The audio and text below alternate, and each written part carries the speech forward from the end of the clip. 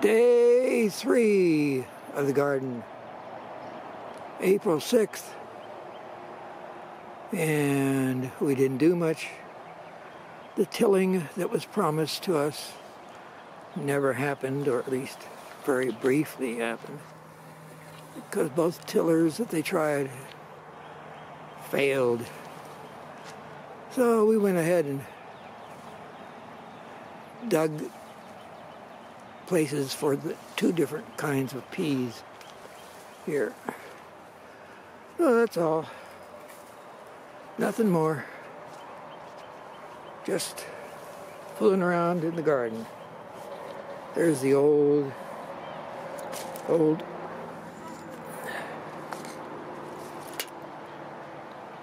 pea fence, and here are the two different kinds of peas that we got. So that's it Lincoln for today. sugar.